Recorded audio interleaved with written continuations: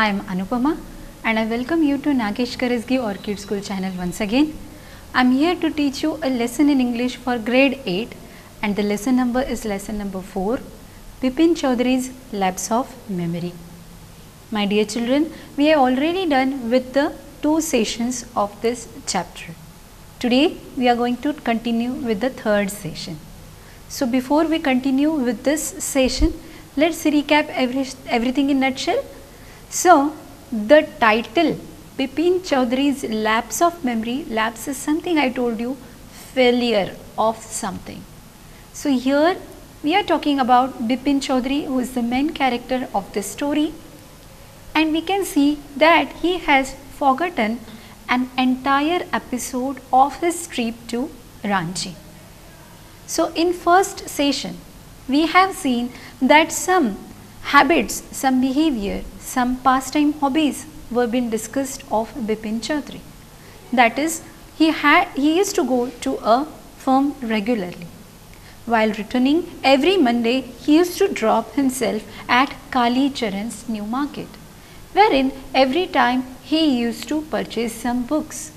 He was really fond of reading some books, books related to crime, ghosts, thrillers and so on.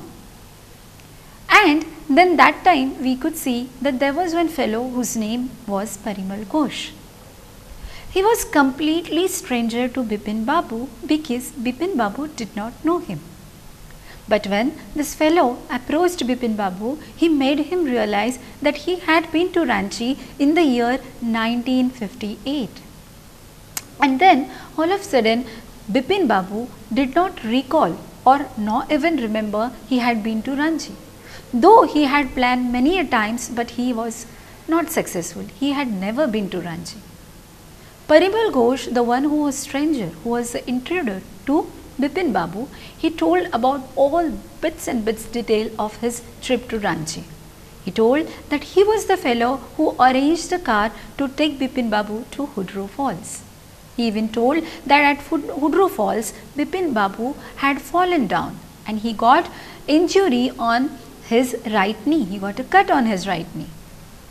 As well as he told that he preferred to live in the bungalow wherein the food was supposed to be made by Bawarchi because he did not like hotel food.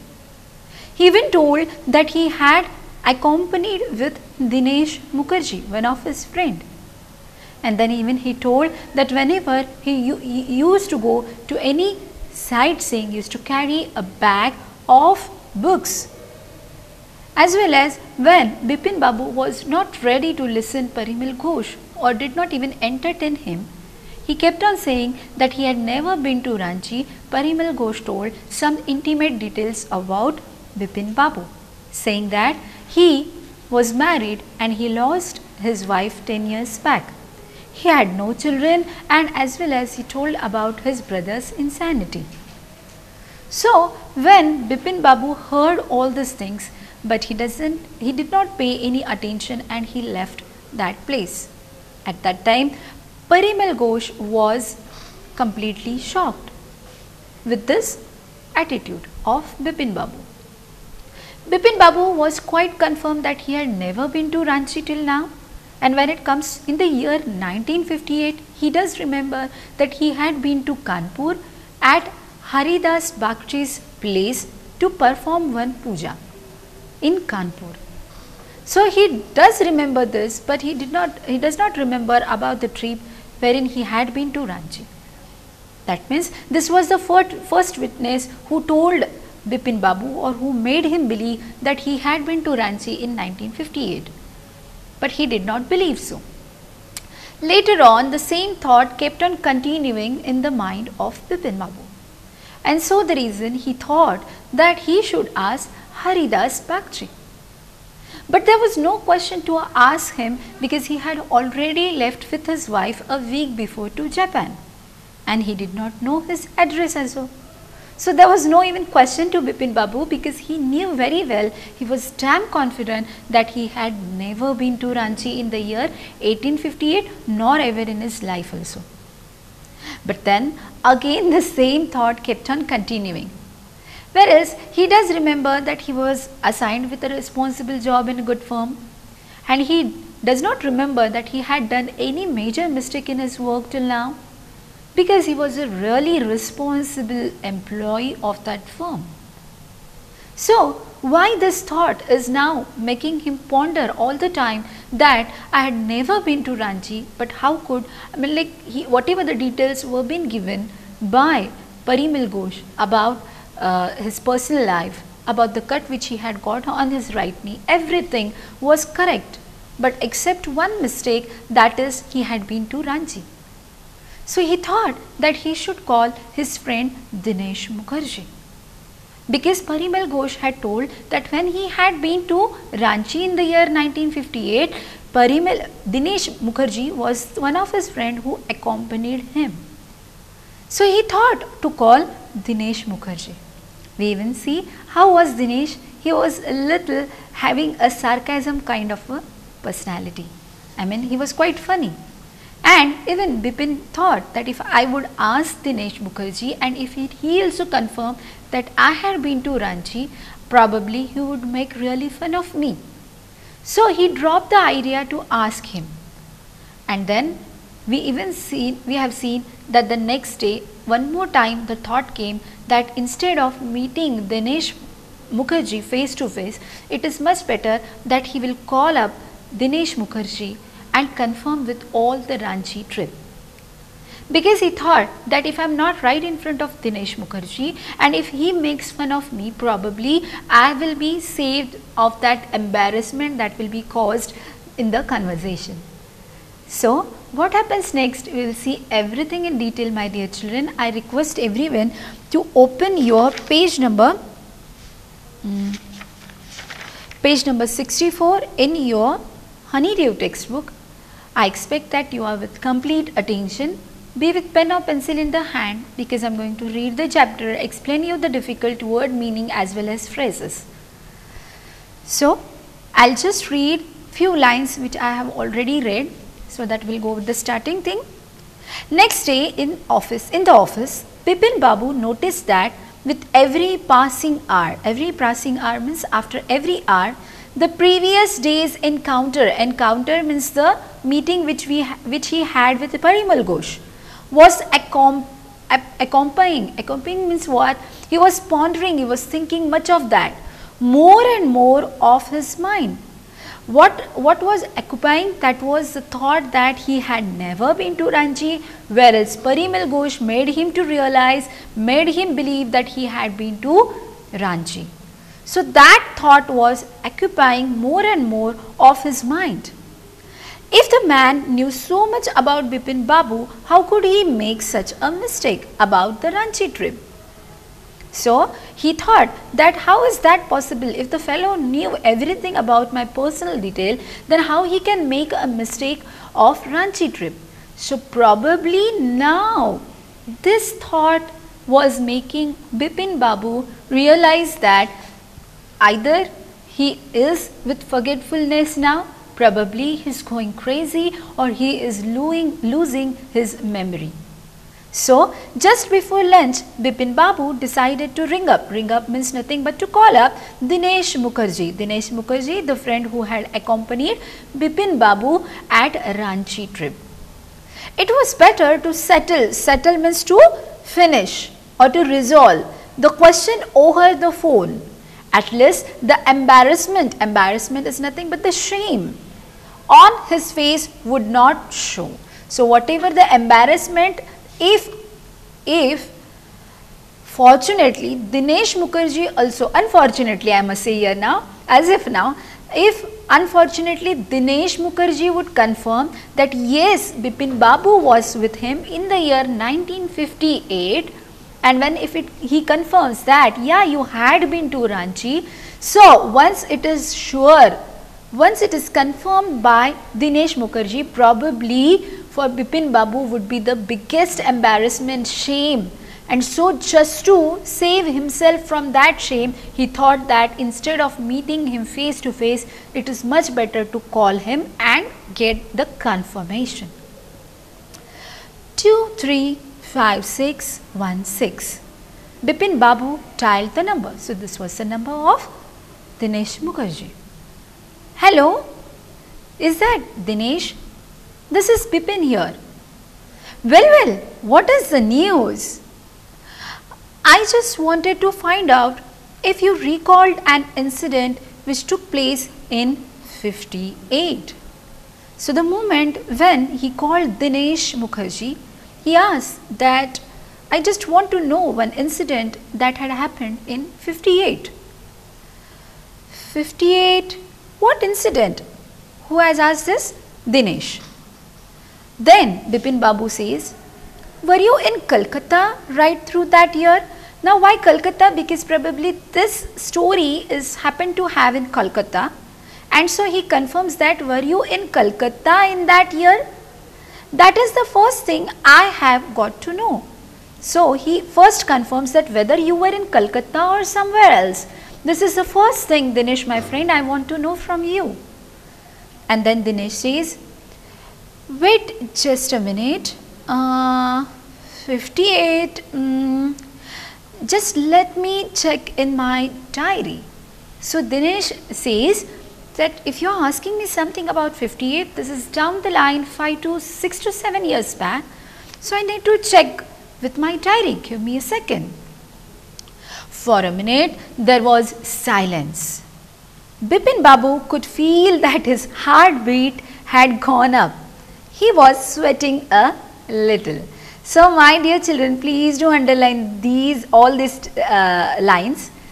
Means what? Like the moment when there was a silence, Bipin Babu could feel that his heartbeat had gone up because somewhere initially he was so confirmed that he had never been to Ranchi so he was not that much worried he was not bothered about that thought but slowly slowly when this thought was occupying his memory he was pondering all over that if Parimal Ghosh knows everything my intimate details then probably there are possibilities that Parimal Ghosh is not mistaking maybe my memory is somewhere uh, you know lapsing or I am getting with forgetfulness something like that.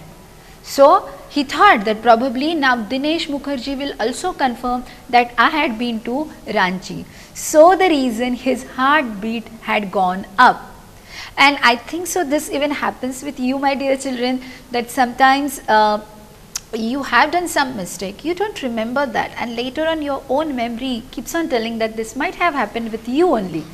And then uh, slowly when uh, the fault comes to your side and when you start realizing that it is not another uh, someone else but it is because of you then all of a sudden before you get caught in that incident definitely your heartbeat starts you know growing fast and at the time Bipin was even sweating he was perspiring and then back with the conversation Dinesh Mukherjee says hello Yes, I have got it. I would been to out twice. So Dinesh says, yes, yes, I got the information fed from my diary. That is, I had been out. Out means from Calcutta twice in that year, in the year 1958. And then Bipin asks, where? And then Dinesh says, once in uh, February nearby to Krishnanagar to a nephew's wedding. And then, but you would know about this one. The trip to Ranchi, you were there too and that is all. But what is all this sleuthing about? Sleuthing, you can find the meaning that is in the glossary. Sleuthing is something which you are trying to investigate about any incident, any matter or an event. So, when Dinesh Mukherjee gets with his information, he confirms that yes, twice I had been out of Calcutta. Once in the month of February wherein he had been to Krishna Nagar to his nephew's wedding. He says this was the first time. And when it comes for second time in the year 1958, but why to ask uh, Bipin? You know very well that we had been to Ranchi in the year, don't you know this? And then what is all this? What, what, what is wrong with you? Why you are investigating? What, what happened with you? So this is what the reply being made by Dinesh Mukherjee too. Then Bipin Babu slammed the receiver. Slammed means what? To put the receiver with, with, with a force or with some violent effort. Now he is going nuts. He is going crazy now. Down and gripped his head. Gripped means to hold tightly his head with his hands. He felt his head swimming. Swimming means to get unsteady or confused. A chill seemed to spread over his body a chill seemed to spread over his body means what all of a sudden when you come to know some surprising thing or if you are shocked of some any news you get goosebump on your body so the moment when this was the second person who got with the confirmation that yes Bipin you had been to Ranchi in the year 1958 and why you are asking me the same because you know very well. So once this confirmation was from Dinesh also he got goosebump, he got chill seemed that to be spread on his body. Then there were sandwiches in his tiffin box but he did not eat them. He had lost his appetite. Appetite is nothing but the condition where you feel very hungry. So, the moment when this was confirmed from Dinesh Mukherjee that he had been to Ranchi in 58, his head was swimming, he got confused, he was going crazy, he did not understand what to do. So at that time, it was lunch time. He had some sandwiches in his tiffin box, but he was reluctant. He was not at all feeling to eat, open the box and eat those. So this is all about second part. We'll move for the third part of this chapter. After lunchtime, Bipin Babu realized that he could not possibly carry on sitting at his desk and working underline the word carry on. Carry on means to continue with some task. So this was the first time ever in his lifetime that he had been working continuously, honestly, promptly, responsibly in his firm for last 25 years. But this was the day wherein he thought that he could not possibly carry on, he could not continue. At that moment, he was going mad, he was going nut, he was caught in a tight, tight spot. So the reason he thought that it's all done, I cannot continue my work as of now because he was so much confused with all the information. This had never happened in 25 years he had been with the firm. So this was the first time where he thought that he should wind up everything, close all the work and he should go back to some place where he can call all those things whatever been confirmed by Parimal Ghosh and Dinesh Mukherjee. So, he had a reputation. Reputation is nothing but a name or a fame for being a tireless. Tireless means without getting tired, conscientious worker now conscientious worker means what? The one who is very responsible, the one who is very careful, the one is all the time correct in his work. So this had never happened. He was working all the time tirelessly. He was given with responsible job. He was given with responsible work, assignments. And but today his head was in a vril.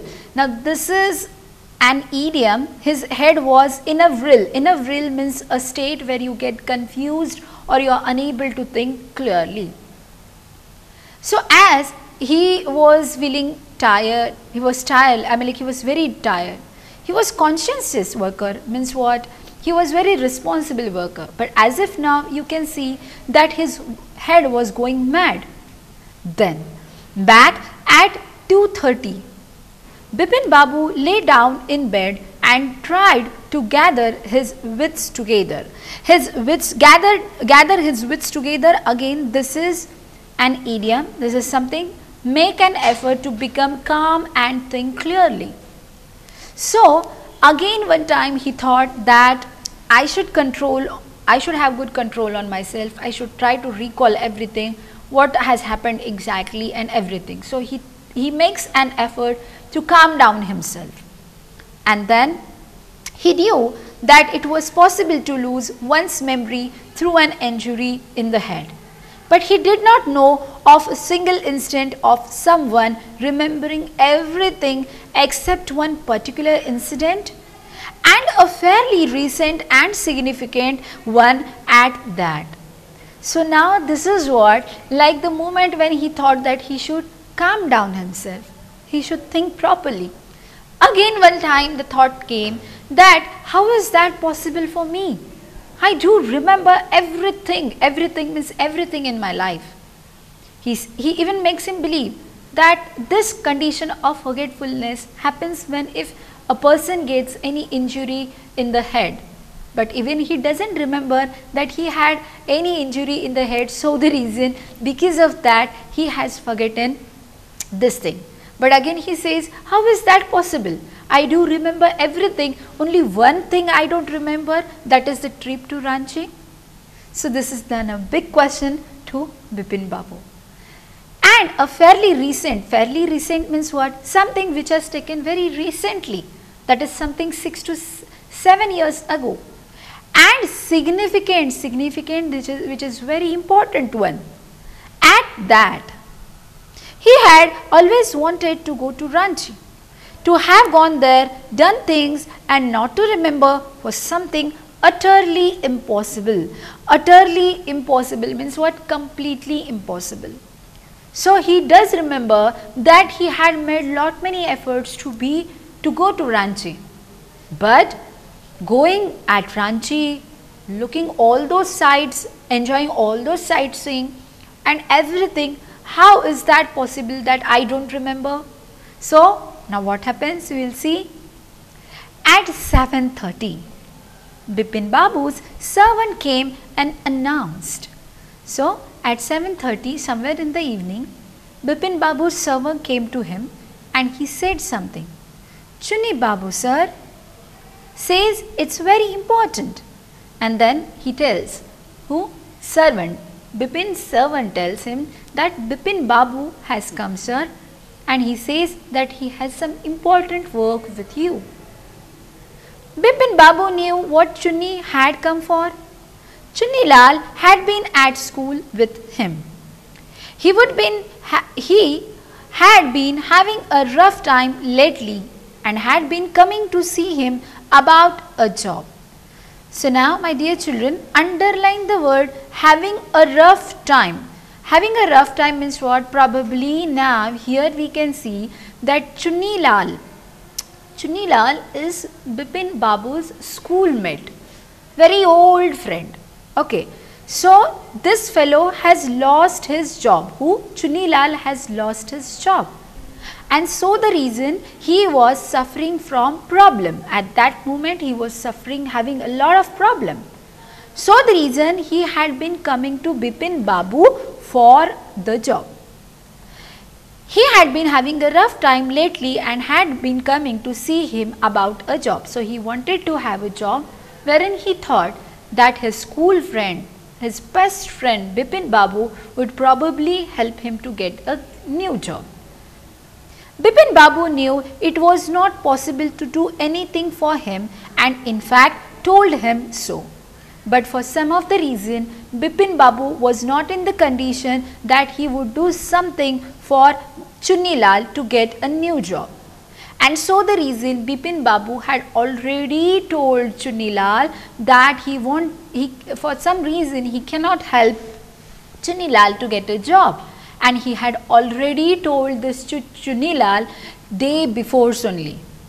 But Chunni kept turning up, kept turning up means what to keep on coming up like a bad penny. Now this is an idiom my dear children underline this word turning up like a bad penny you can see this in glossary that is appearing at a place where one is not welcome. So we can see with the above statement that Bipin had already told Chunilal that he cannot do anything, he cannot help Chunilal to get the new job. But then too, Chunni Lal had been visiting Bipin Babu's house every time which was actually not welcomed or liked by Bipin Babu. So, Bipin Babu sent word, sent means what? Gave one more message that not only was it that not only was it not possible for him to see Chunni now, but not in several weeks.